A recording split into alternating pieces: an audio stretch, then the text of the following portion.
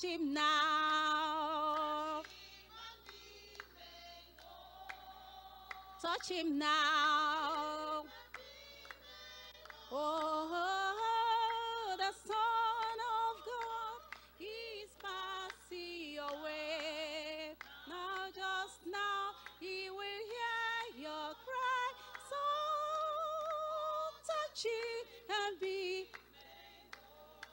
the power, the power, the Pentecostal power is just the same today, no matter what they say. The power, the power, the Pentecostal power, it is just the same today. Oh, yes. Power. Pentecostal power is just the same today, no matter what they say. The power, the power, the Pentecostal power, it is just the same today. Oh, yes, the power, the power, the Pentecostal power is just the same today, no matter what they say. The power, the power, the Pentecostal power, it is just the same today and here tonight. The power, Pentecostal power is just the same today, no matter what they say. The power, the power, the Pentecostal power, it is just the same today. Lord, send the old time power, our Pentecostal power, that floods gates of blessing, all those open wide. Lord, send the old time power, our Pentecostal power, that sinners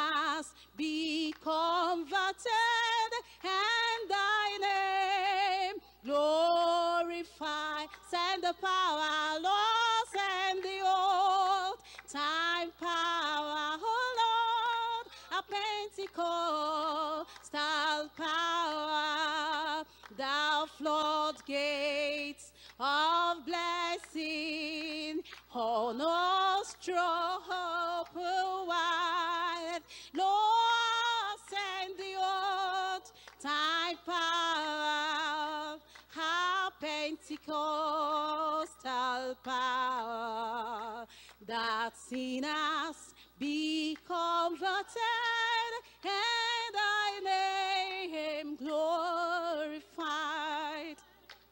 Lord, as of old at Pentecost, thou didst thy power display with cleansing, purifying flame.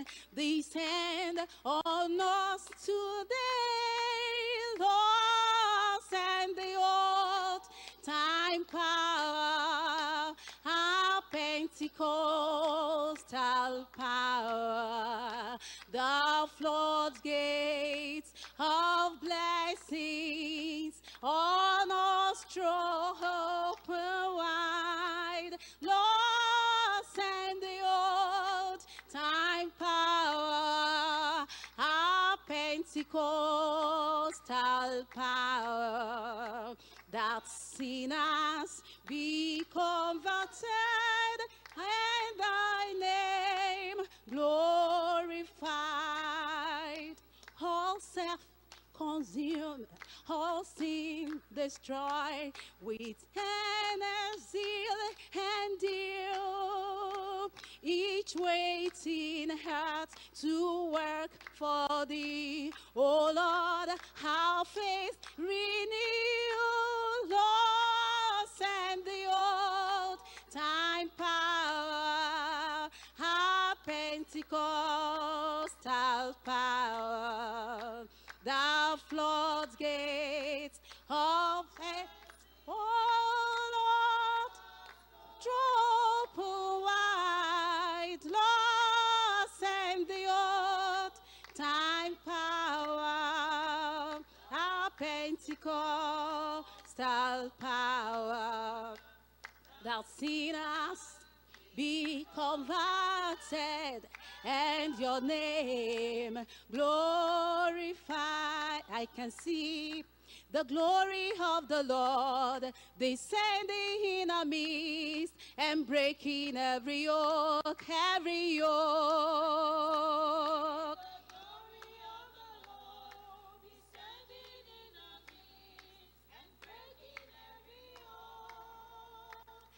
Can see the glory of the Lord descending on me.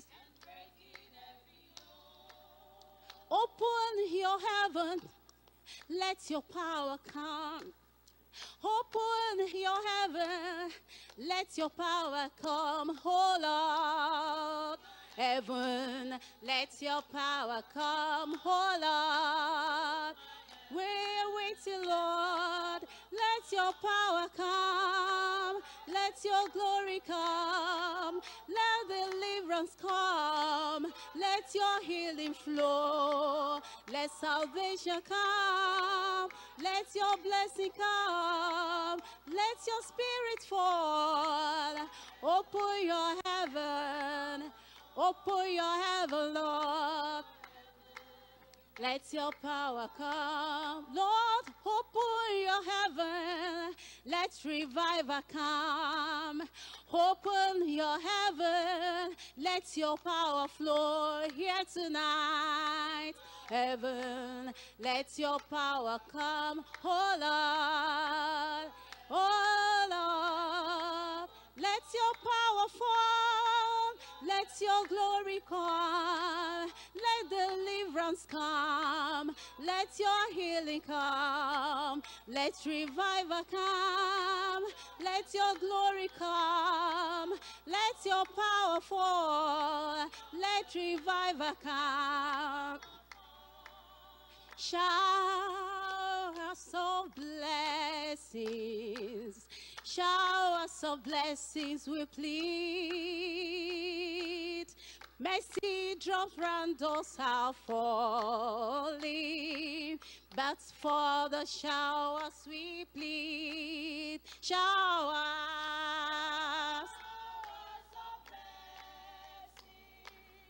Showers of blessings we need. Mercy drops round those are falling, but for the showers we plead. Yes, showers of blessings, showers of blessings we need. Mercy drop round those are falling, but for the showers we plead. Showers of blessings, showers of blessings we plead. Mercy drops round those are falling, but for the showers we plead. There shall be showers of blessings. This is the promise of love. There shall be season refreshing, sent from the Savior above. Showers of blessings, showers of blessings we need. Mercy drops round those are falling, but for the showers we plead. Oh Lord, come down and manifest thy power.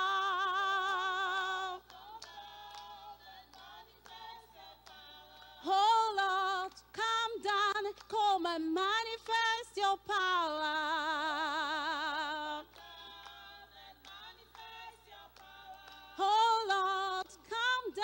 Come and manifest your power.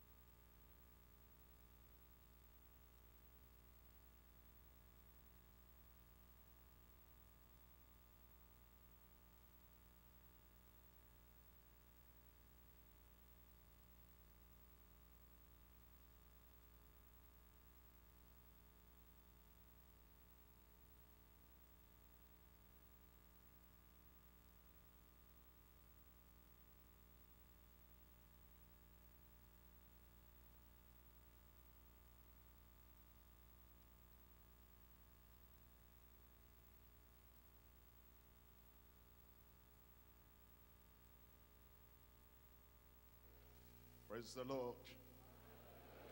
Church, I said, praise the Lord.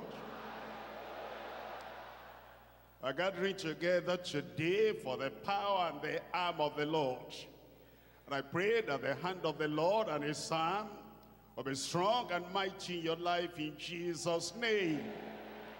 And the people of God said, Father, we bless your name today. We thank you because we know you are mightily present here. We thank you for all the ministrations we have got. And we're asking, Lord, to confirm your word in every life in Jesus' name. Manifest your power. Reveal your hand. Let your mighty power, wonders, signs, and miracles take place in every life in Jesus' name. We thank you because we know you have answered.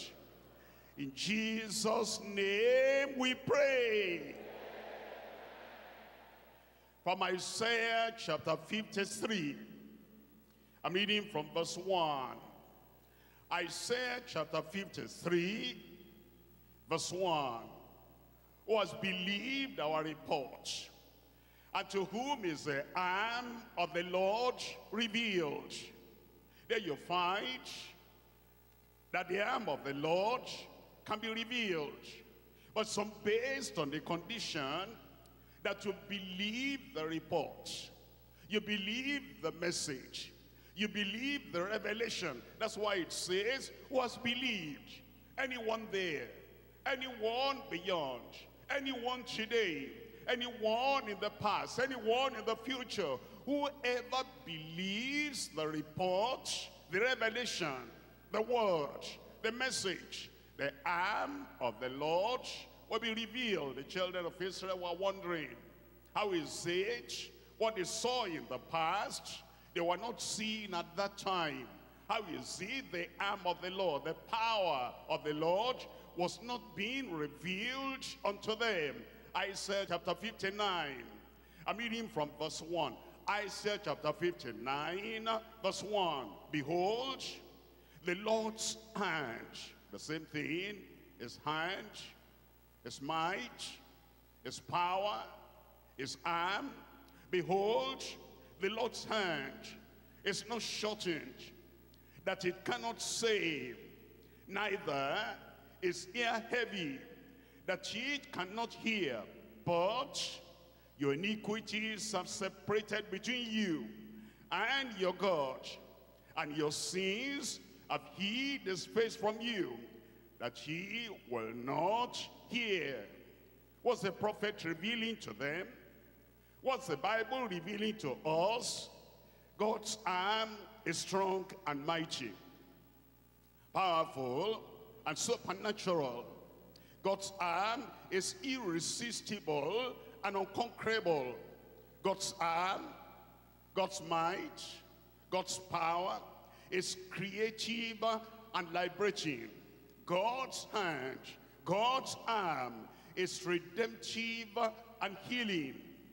His arm saves, that arm delivers, that arm heals, that mighty power, might, his arm works miracles, that arm works wonders.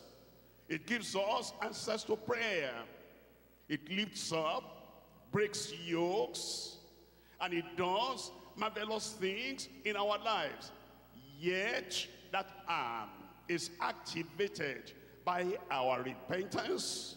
That arm is activated by our relationship.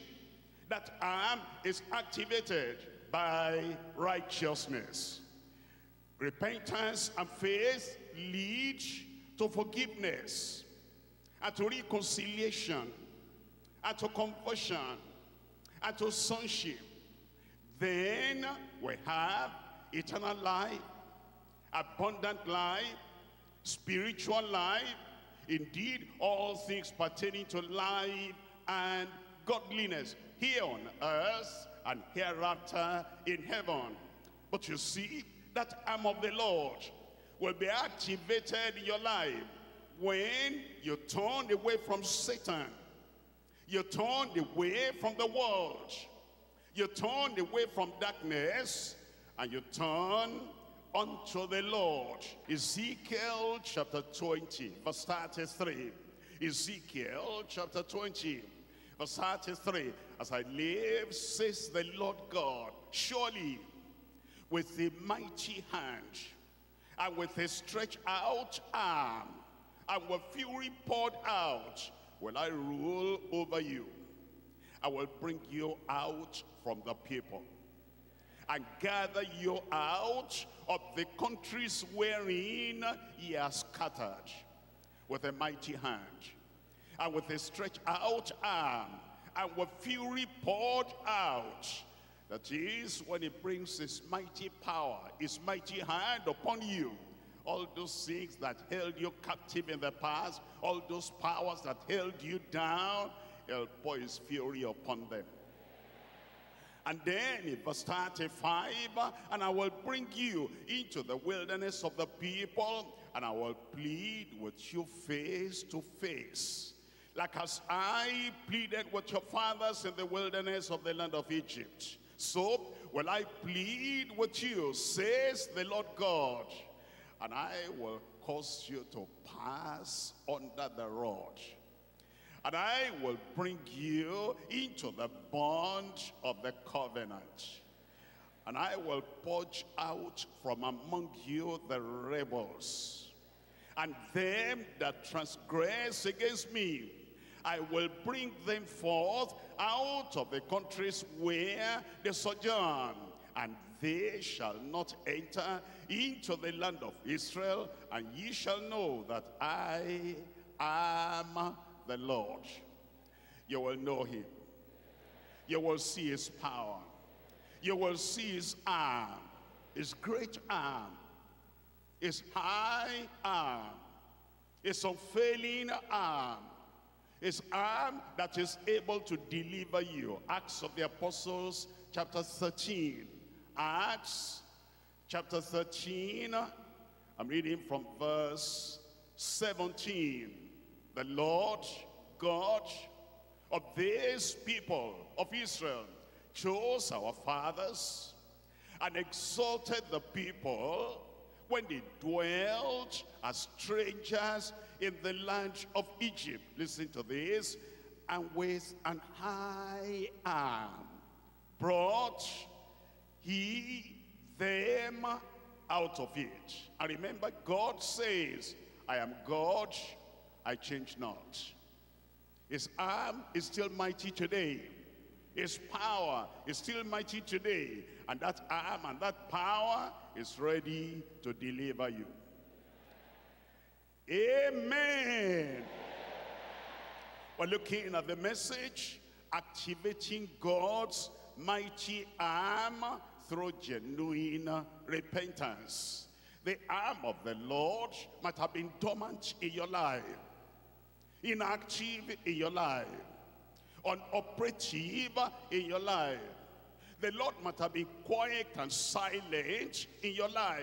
And you are wondering, they say, the Bible says that the arm of the Lord is mighty and strong, powerful, irresistible, able to heal, able to deliver, able to save, able to set free. And yet, I cannot see the activating or the moving or the operating of that mighty arm. There is one secret. That's the secret we're getting today. That power will work in your life. That might will work in your life. That anointing that breaks the yoke. You are going to see something you have never seen in your life. And there is an activating, a moving, activating God's mighty arm through genuine repentance. Three things we're looking at before we pray. You will pray. I will pray. And as our prayer meets together, there's going to be an explosion in your life. Somebody there, explosion the explosion, the explosive power of God in your life today, in Jesus' name. you're going to activate the mighty hand of God. We're going to activate the mighty hand of God. There's going to be repentance all across the auditorium. Everywhere, total repentance. There is no compromise with Satan today. There is no compromise with sin today. There is no compromise with society today. And as we turn en masse in our thousands unto the Lord, whatever we open our mouth to decree, it must happen. Three things. Number one, the beginning of times of refreshing from heaven. The beginning of times of refreshing from heaven.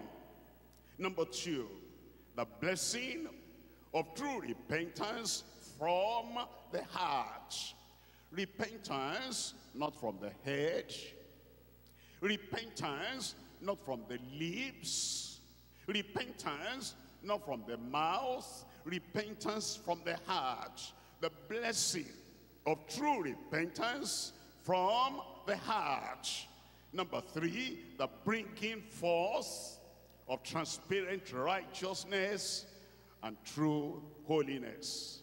The bringing forth of transparent righteousness and true holiness. Number one. Tell me number one.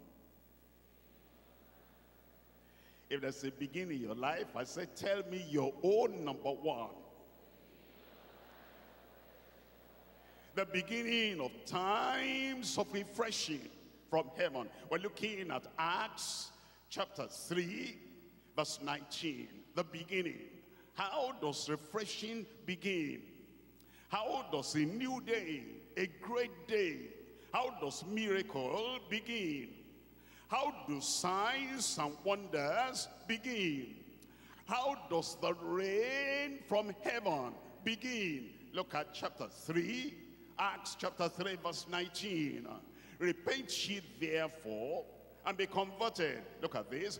That your sins may be blotted out when the times of refreshing shall come from the presence of the Lord. It says, this is how times of refreshing begin. Before that time, in need. Before that time, we're going through times of dryness, times of weariness. We have sorrow, we have suffering. We're going through some wilderness, the wilderness of famine, the wilderness of poverty, the wilderness of sickness, the wilderness of oppression. There is confusion almost everywhere, and there are torments. We need a change, a change of season from guilt to grace, from condemnation to the abundance of the blessings of the Lord, from the accusation of the enemy, and from the evil oppression of the wicked one. We need a release. We need redemption. We need the overflowing, refreshing power, grace of God in our lives. We're asking for a change of season a change of stage, a change of status, so that every stress and distress, every pressure and depression will be taken away. And this is the day. We're going to exchange the wilderness for the fresh and refreshing season of life. And then the Bible tells us in that verse I read to you, it begins with repentance. Look at verse 19 again, Acts chapter 3. Repent ye therefore, and be converted, that your sins may be blotted out.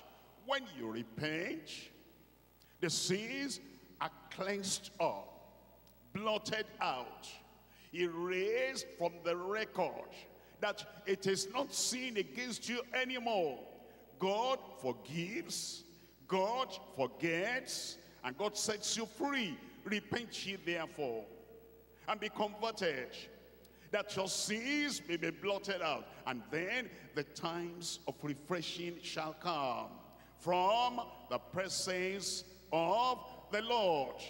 Repentance is turning away from sin. Repentance is forsaking all our sins. And you hate those sins like you hate anything that brought famine to your life. You hate anything that brought poverty to your life. You hate anything that brought depression, sickness, agony, anxiety, evil into your life. And now you have the sweet, refreshing time of the Lord. Isaiah chapter 28. Isaiah chapter 28, we're looking at verse 12.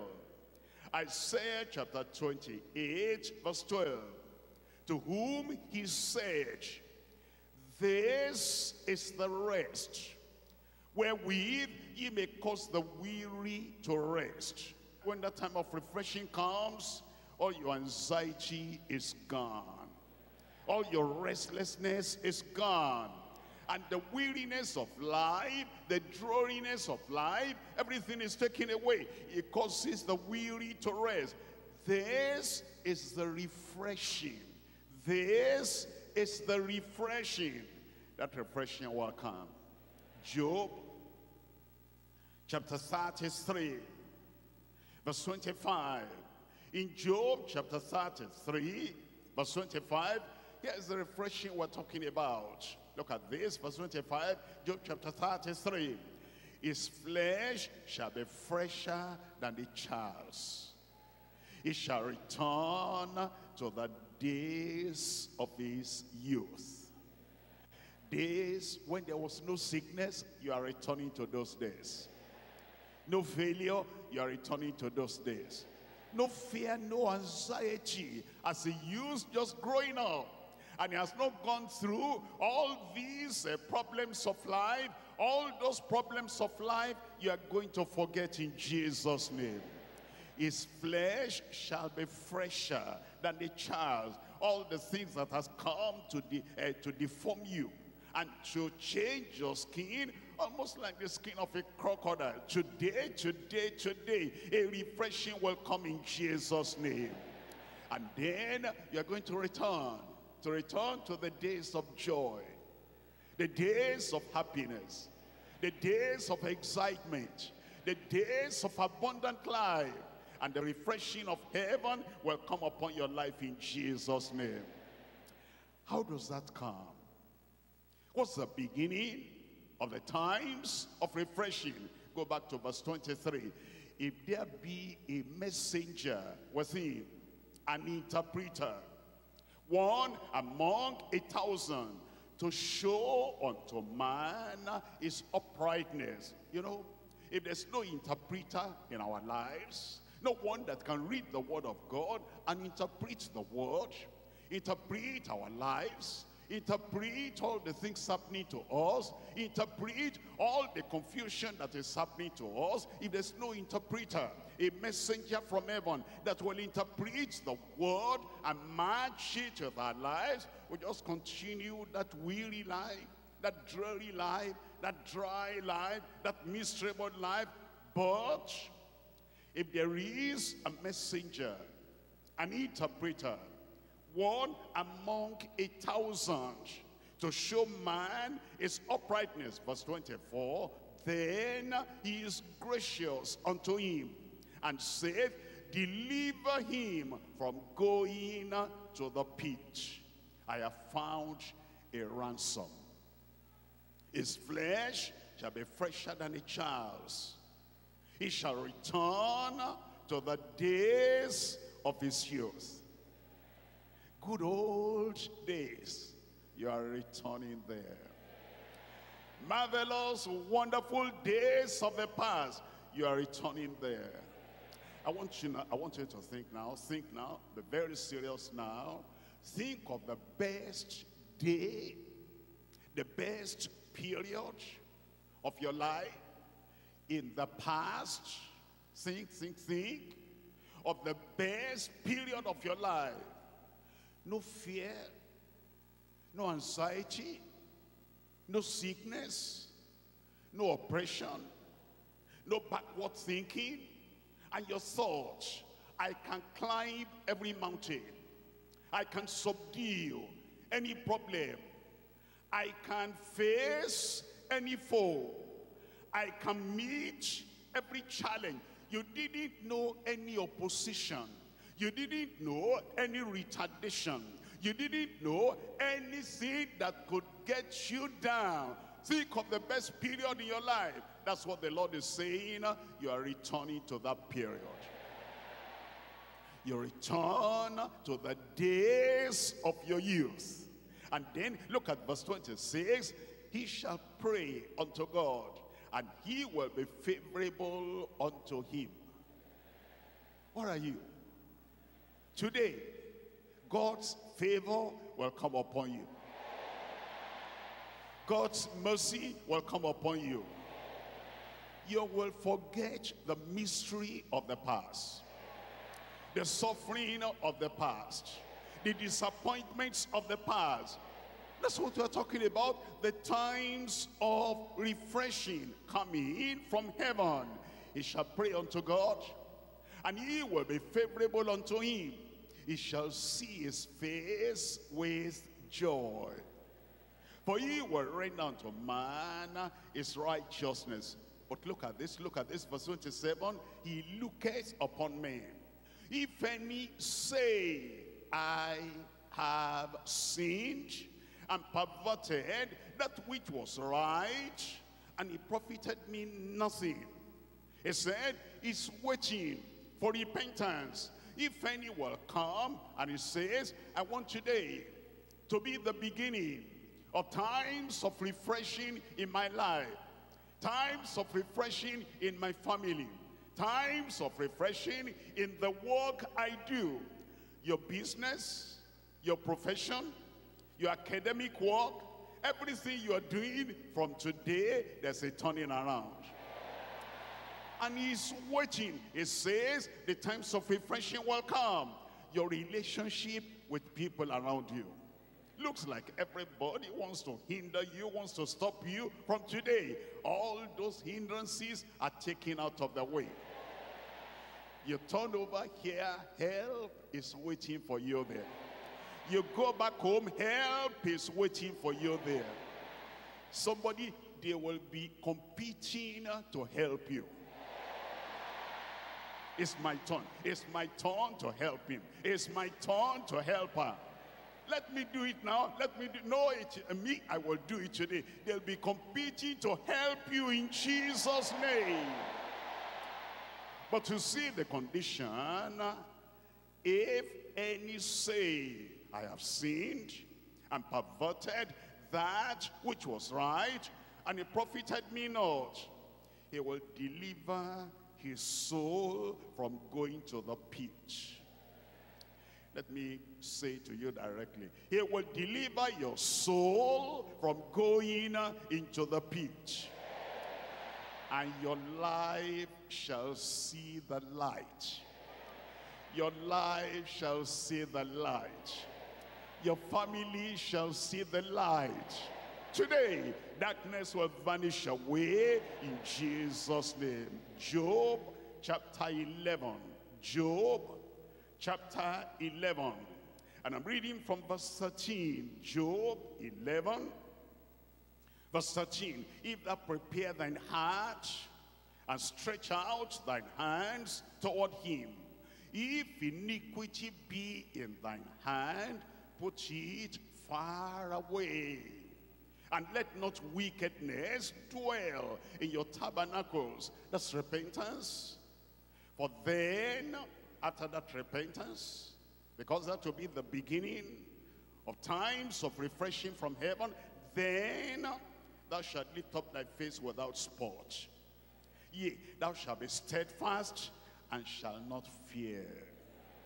Because thou shalt forget thy misery and remember it as waters that pass away. thine age shall be clearer than the noonday. Thou shalt shine forth, and thou shalt be as the morning. Who is that? I said, who is that? A new day must come.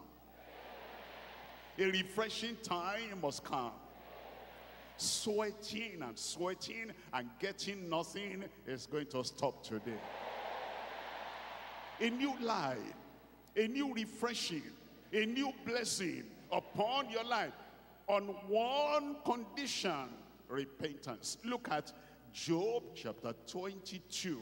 Job chapter 22, reading from verse 21. Acquaint now thyself with him, and be at peace. Thereby good shall come unto thee. Goodness and mercy will follow you. Everywhere you go, that hanging evil spirit, that hanging tormenting spirit, that voice always telling you something bad is going to happen, they're driven away. On the basis of repentance, look at this, receive, I pray you, the law from his mouth. Lay up his word in thine heart. If thou return to the Almighty, thou shalt be built up. Thou shalt put away, tell me, iniquity far from thy tabernacles. You see that? It's repentance. You put away iniquity from your life, from your family, from your tabernacle. What will follow? Verse 24. I'm waiting for you. Are you there? What's the first word there? Then, after that repentance, after that turning, I see beauty coming upon your life. Then shalt thou lay up gold as dust. Poverty is gone. The gold of Ophir as the stones of the brooks. Yea, the Almighty shall be thy defense and thou shalt have scarcity of silver. Thou shalt have plenty of silver. Put your hand in your pocket. If there is nothing there now, God will fill up that pocket. In your purse, there's something, there's nothing there now. God will fill that purse. That card, put it in now. And then as you put it in, ah, I thought money was there. I am sorry. You will not be sorry again. Plenty is coming there. You see, the people that do not repent and they're staying far away from God, they are hurting themselves. But the people that repent, the people that turn away from sin, times of refreshing will come upon your life. It says, thou shalt have plenty of silver. Verse 26, for then thou shalt have thy delight in the Almighty and shall lift up thy face unto God. Verse 27, thou shalt make thy prayer unto him. What will happen? And he shall hear thee, and thou shalt pay thy vows. Verse 28, read it yourself. I said, read it yourself. You know, you, are now, you are now the one to make the decree. Enemies will not make a decree in your life. Satan will not make a decree in your life. What do you want? What are you asking for? What are you looking for? How do you want your life to be? God is giving you a fresh sheet of paper. And he's saying, whatever has happened in your history, look at everything that has happened in your life. That one, cancel that one. Cancel that one. Cancel that one. Turn the paper. That paper now is fresh and free and neat. Write whatever you want. How do you want your life to be? How do you want your tomorrow to be? How do you want your destiny to be? It says, write it. And then at the end, sign your name. I take it as a decree. It will happen. I said it will happen. Wipe away those tears because you are crying because of the past. And that past is cancelled. You're crying because of the sorrow of the past, the pain of the past, and the evil of the past, and the agony of the past, and the enmity of your enemies of the past, hostility of the past. Look at me, look at me. We're not looking at you like yesterday now. Cancel that thing. Because, verse 28, thou shalt decree a thing, and it shall be established unto thee and the light shall shine upon thy ways. I thought the people of God will say, Amen. The beginning. Today is the beginning of the times of refreshing from heaven. Point number two. In point number two, the blessing of true repentance from the heart. That's the important thing now. You know, some people say, I've repented, I've repented. I don't know why the times of refreshing are not there. I will not contradict you, but I will show you what repentance is, and then you'll be able to measure it yourself. If you have not repented well in the past, by yourself. Today, you're going to bring forth true repentance. In anticipation of the refreshing time that is coming upon your life. We're looking at Joel, Joel chapter 2. In Joel chapter 2, I read from verse 12. Verse 12, therefore, also now, says the Lord, turn ye even to me with all your heart, with fasting and weeping and mourning. Turn to me, that's repentance. And it says, not in your mind, not in your thought, not like a proposal, not like a future thing, do it from the depth of your heart. Verse 13, rend your heart, not your garments. Turn unto the Lord your God, for he is gracious and merciful, slow to anger, and of great kindness, and repenteth him of the evil. As you turn, what will happen? Verse 21. You turn, you repent, what blessing are you expecting? Verse 21. Fear not, O lands, be glad and rejoice. For the Lord will do great things. After repentance, it's automatic. It's straightforward. If you repent from the heart, since you are going to repent from the heart, today tomorrow, this week, this month, for the rest of the year, for the rest of your life. Fear not. The fears of the past are cancelled. What's going to happen to me tomorrow? Fear not. I'm going for that interview. What's going to happen? Fear not. I'm looking at the end of the month. How am I going to pay for this and pay for that? Fear not. All you need is repentance. And with that relationship with the Lord, fear not, be glad, rejoice, for the Lord will do great things. Be not afraid, verse 22, ye beasts of the field, for the pastures of the wilderness do spring, for the tree beareth a fruit, and the fig tree and the vine tree you do yield their strength, every tree your life will blossom. Be glad then, ye children of Zion, and rejoice in the Lord your God. For he has given you the former rain moderately, and it will cause to come down for you. For you. For me. The rain, the former rain and the latter rain in the first month. And the floors shall be full of wheat and the vine shall overflow with wine and oil.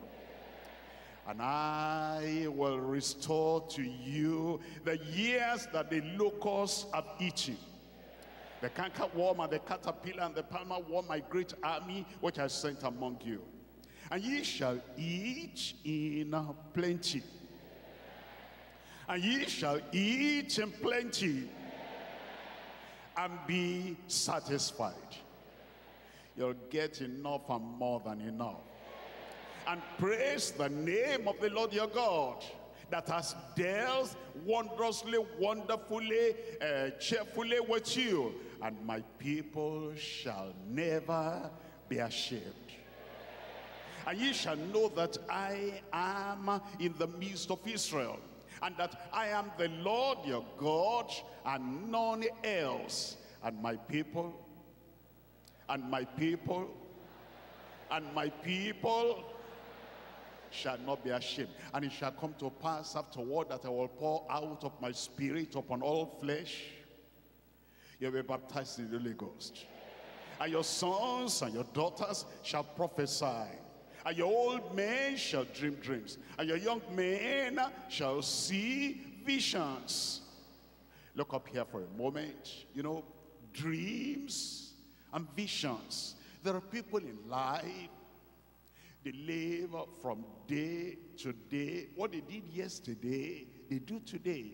What they're doing today, they're doing tomorrow. There's no dream. There's no vision. There's no goal. There's no ambition. There's no desire. There is nothing in the horizon. Everything is dark. Everything is weariness. Everything is, I live today. I wake up, I eat. I go to work. I come back, I eat, I sleep. Tomorrow, I wake up, I eat.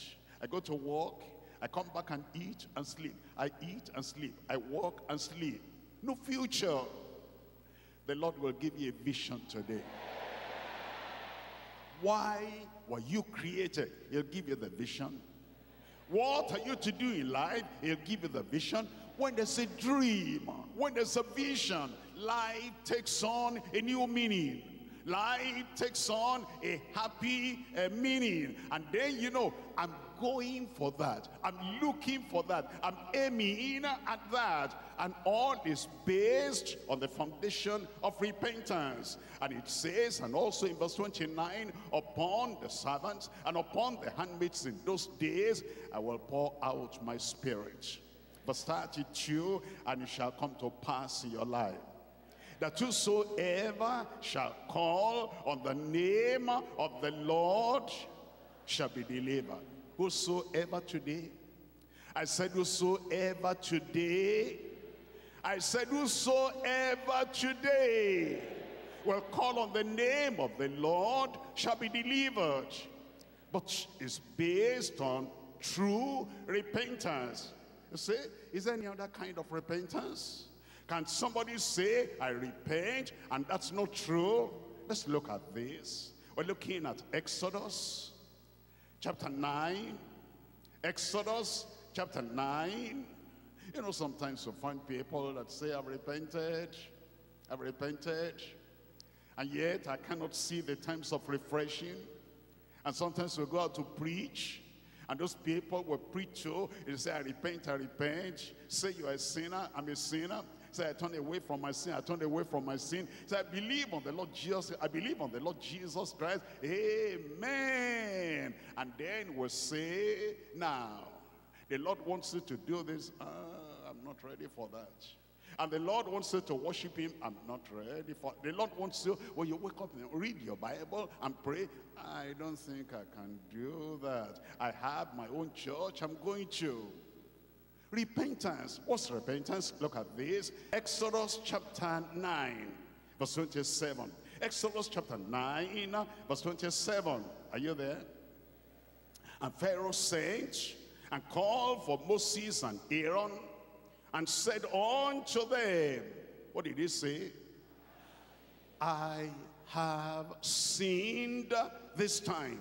The Lord is righteous. I and my people are wicked. Ah, the man finally repented. Look at verse 34. In verse 34, it says, And when Pharaoh saw that the rain and the hail and the thunders were ceased, he sinned yet more and hardened his heart, he and his servants. That's not genuine repentance. I have sinned, I have sinned. I repent, I repent. I turn away from my sin. I accept Jesus. Uh-uh. That's not it. And when the problem stopped temporarily, the man sinned yet more. Numbers chapter 22. In Numbers chapter 22, I'm reading from verse 32. Numbers chapter 22, reading from verse 32. It says in verse 32, And the angel of the Lord said unto him, unto Balaam, Wherefore, as thou smitest thine ass these three times, behold, I went out to withstand thee, because thy way is perverse before me.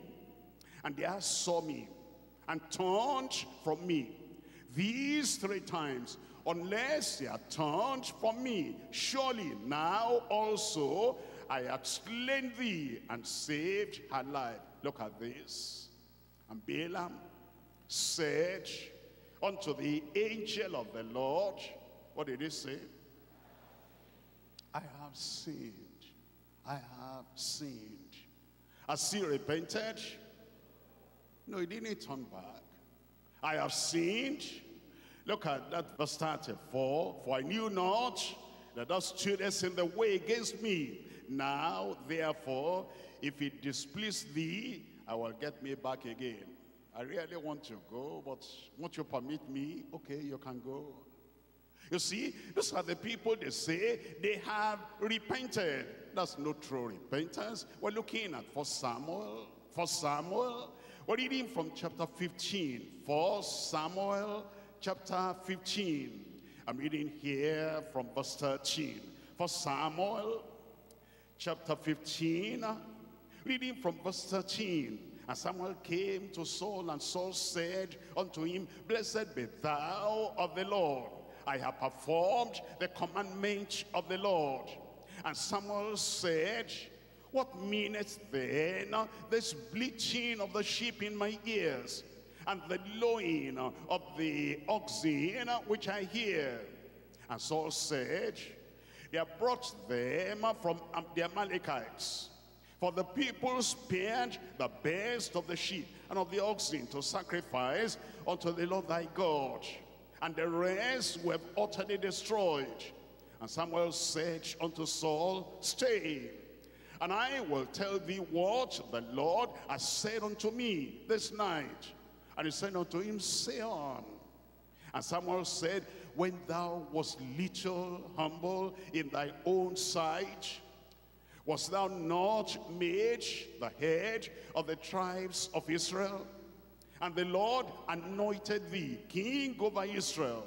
And the Lord sent thee on a journey and said, Go and utterly destroy the sinners, the Amalekites, and fight against them until they be consumed.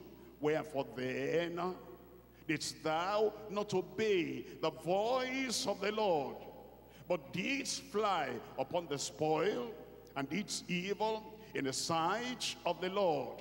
And Saul said unto Samuel, Yea, I have obeyed argument. Argument. You know, the people, for, to, for you to convince them to finally say, okay, okay, okay, I've repented.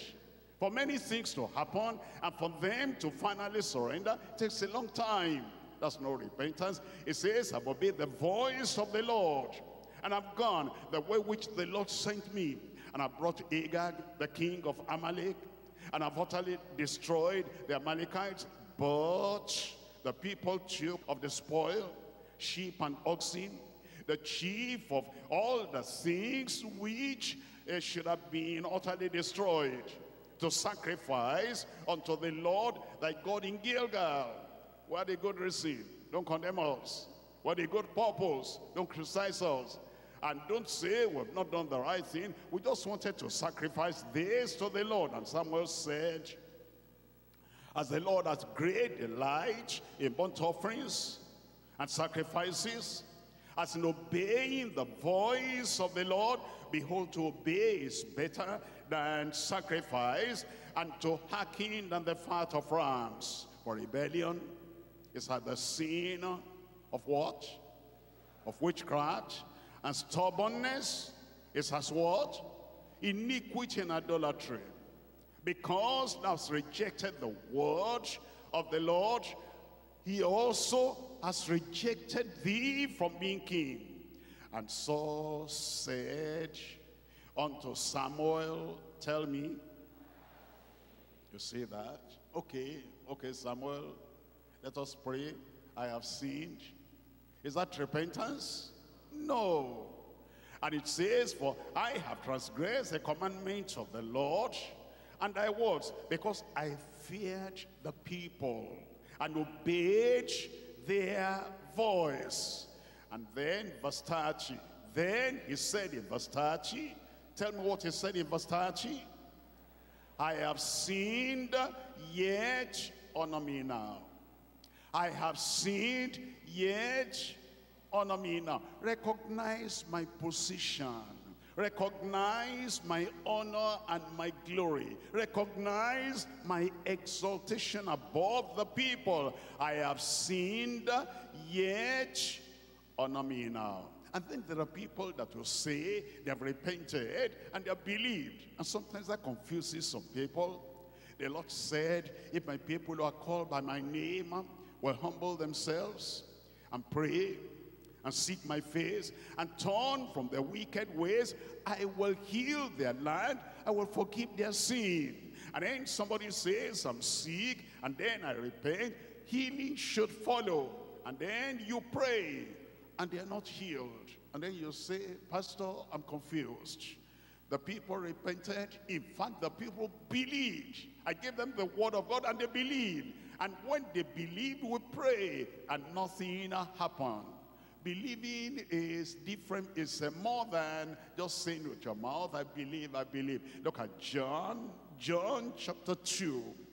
John chapter 2, I'm reading from verse 23.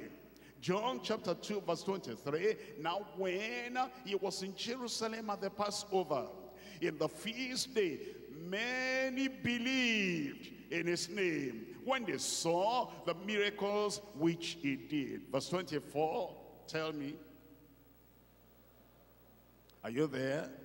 Verse 24, read it aloud. But Jesus did not commit himself unto them because he knew all men. I believe, I believe, I repent, I repent. The repentance must be genuine from the depth of your heart. And the believing must be genuine from the depth of the heart. Look at chapter 6 of John. John chapter 6. I'm reading from verse 15. John chapter 6, verse 15. But when Jesus therefore perceived that they will come and take him by force to make him a king, he departed again into a mountain alone. And eventually they looked for him uh, and they saw him. And then they said, Master, Rabbi, look at verse 25. And when they had found him uh, on the other side of the sea, They said unto him, Rabbi, when camest thou hither? We'll be looking for you. We believe in you.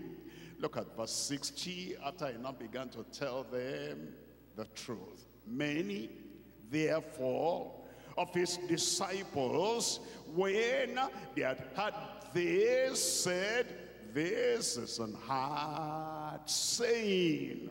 Tell me, who can hear it?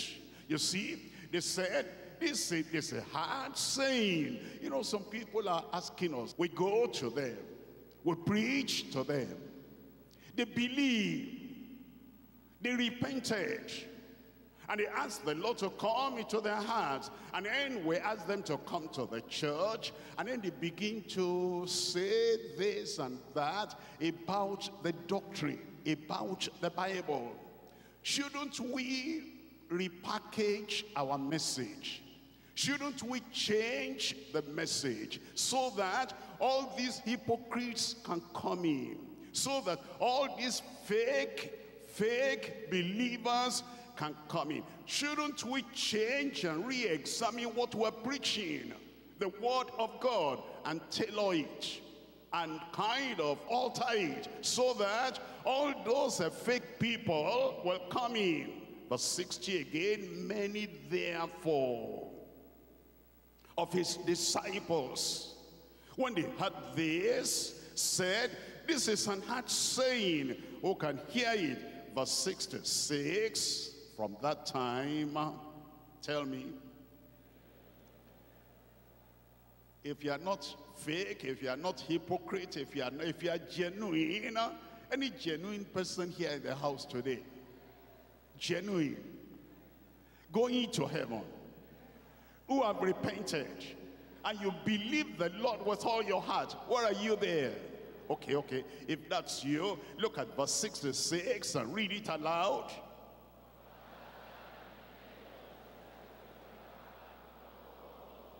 From that time, many of his disciples went back and walked no more with him.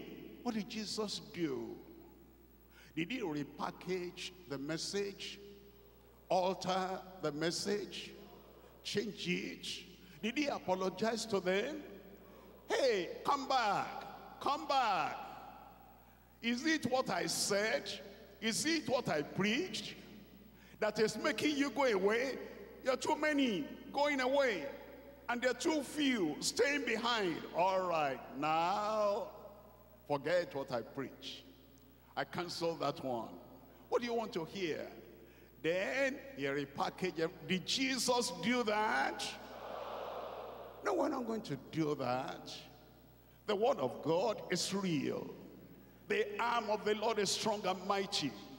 And the arm of the Lord can do wonders and miracles on one condition there is genuine repentance look at verse 67 then said jesus to the twelve what did he say will ye also go away then simon peter answered him lord to whom shall we go thou hast the word of eternal life. And we believe and we're sure that thou art that Christ, the Son of the living God. And Jesus said unto them, Have I not chosen you twelve? Tell me what follows. Even there was one still hiding there, still sneaking in. And one of you is a devil. I will not be a devil. I said, I will not be a devil. You see, genuine repentance, true repentance is what brings the blessing. By the way, by the way, what's genuine repentance? It's repentance coming from the heart. Not just from your lips, I've sinned. Not just from your head, I'm thinking what he wants to hear, I'll tell him. It's without any hypocrisy. There's conviction. There's a feeling that this is wrong. True repentance comes out of revelation. The revelation of the word of God like light shining in the darkness of your heart. True repentance comes from conviction. Conviction. And that conviction comes upon you. There is hatred for sin. You see sin in its true representation. How do you see sin to repent? You see sin as Satan's agent with curse and expulsion from glory. The sin is coming, is representative of Satan and is to expel you from the garden of Eden. When you see sin like that, you repent. You see sin as a subtle serpent ready to sting and to kill you. He wants to sting you.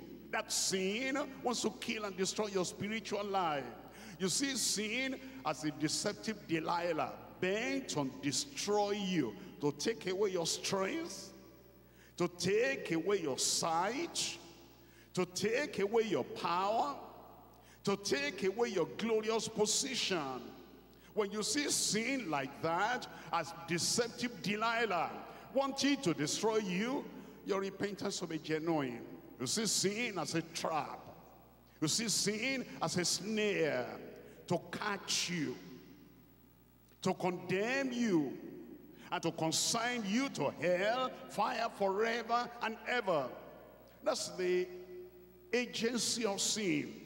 That's the purpose of sin. Sin comes so that he'll catch you unawares, condemn you, and then consign you to hellfire. You see, sin as poison presented as sweet honey. Look at that bottle. They put a good label on it. There is poison inside. And they want to advertise it. And they want to show it in some glamoring colors so as to tempt you, entice you to drink it and die. When you see sin like that as poison, that is presented as if it was sweet honey, you run away from that sin, you repent. You see sin as a pretending demon, acting as an angel of light, working for Satan to destroy and damn your soul in hell. You see sin as a secret seducer. You see your own desires to destroy you. You see your own desires to cancel your dignity. You see your own desires to spoil your destiny. When you see sin and it's revealed to you with real conviction, there'll be true repentance. What's repentance? Repentance is hatred for sin. I didn't know that that thing wanted to destroy me. And I was smiling. I was getting near me. Was getting me interested. Now I see the real aim. And therefore, now that I know repentance means I hate the sin. I turn away from the sin. I then close the door against that sin. I have contempt and dislike for the sin. See, if you don't have contempt and dislike for the sin, to say, I repent and repent, that's not true, that's not true. You must have contempt and dislike. You have separation, detachment from that sin. That's repentance. There's a cutting the cord of association with that sin you make an impassable gulf between you and the sin that you'll not pass on to the sin and the sin will not pass on to you that's true repentance, and that true repentance will bring uh, great things in your life in Jesus' name. Somebody should have said amen. Look at Psalm 51. Psalm 51, here's true repentance. Psalm 51, I'm reading here from verse 1. Have mercy upon me, O God according to thy loving kindness, according to the multitude of thy tender mercies, blot out my transgressions. Wash me thoroughly. From my iniquity cleanse me from my sin. For I acknowledge my transgressions, and my sin is ever before me. No excuse making. No giving of any excuse to say I did this because of that, so and so lured me into that, so and so deceived me into that. No, not at all. Look at verse 4. Against thee, thee only have I sinned and done this evil in thy sight, that thou mightest be justified when thou speakest, and be clear when thou judgest. Behold, I, he forgot his position, he forgot his dignity. He came before the Lord and said, Behold, I was shaped in iniquity. In sin did my mother conceive me. Behold, thou desirest truth in the inward parts. In the hidden parts, thou shalt make me to know wisdom. Purge me with hyssop, and I shall be clean. I want to be clean. I want to be righteous. I want to be holy. I want to be pure. Purge me Cleanse me, I shall be clean. Wash me, and I shall be whiter than snow. Make me to hear joy and gladness, that the bones which thou hast broken may rejoice. Hide thy face from my sins. Blot out all my iniquities. Create in me what kind of heart? Tell me out aloud. Create in me a cleaner heart. He said, my heart is dirty. My heart is defiled my heart is dark. It says, create in me a clean heart, to God. Renew a right spirit within me. Cast me not away from thy presence. Take not thy Holy Spirit from me. Restore unto me. Tell me. He said, I got salvation before. I lost it.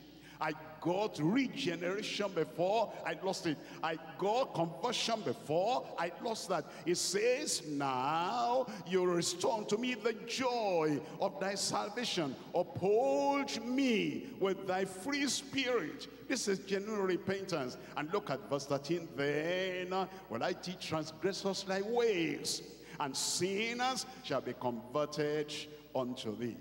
Amen. Proverbs chapter 28. True repentance, genuine repentance, heartfelt repentance, the kind of repentance that interests God, the kind of repentance that brings the times of refreshing unto you, unto us. It says in verse 9, chapter 28 of Proverbs, chapter 28, verse 9. He that turneth away his ear from hearing the law, even his prayer shall be abomination. He that turneth away his ear I don't want to hear that word of repentance. I don't want to hear about righteousness. All I want, I want the arm of the Lord, the power of the Lord. I want the manifestation of the greatness of Calvary, of his sacrifice to avail in my life. As for the word of God, I don't want that. Look at verse 9. He that turneth away his ear from hearing the law, even his prayer shall be abomination. Verse 13, he that covereth his sins, tell me out aloud, shall not prosper. But whoso confesseth and forsaketh them, tell me, shall have mercy. That's how the mercy will come. And today it will come. I said today it will come.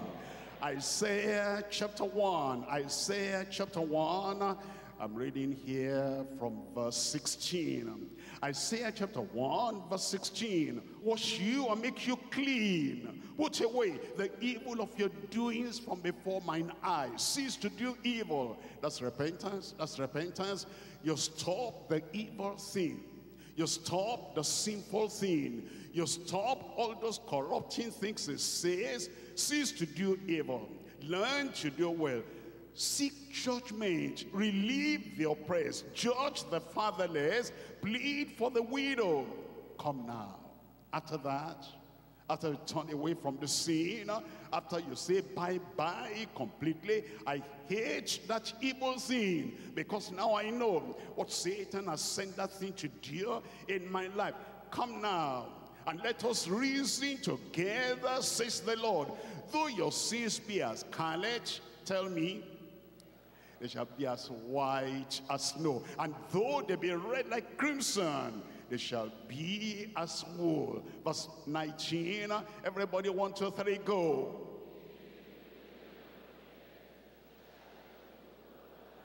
Verse 20, everybody, one, two, three, go.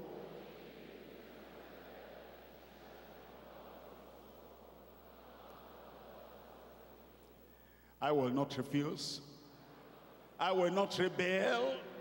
Verse 19, if ye be willing and obedient, ye shall eat the good of the land. But if ye refuse and rebel, ye shall be devoured with the sword, for the mouth of the Lord has spoken it. I pray there'll be genuine repentance in every heart in Jesus' name.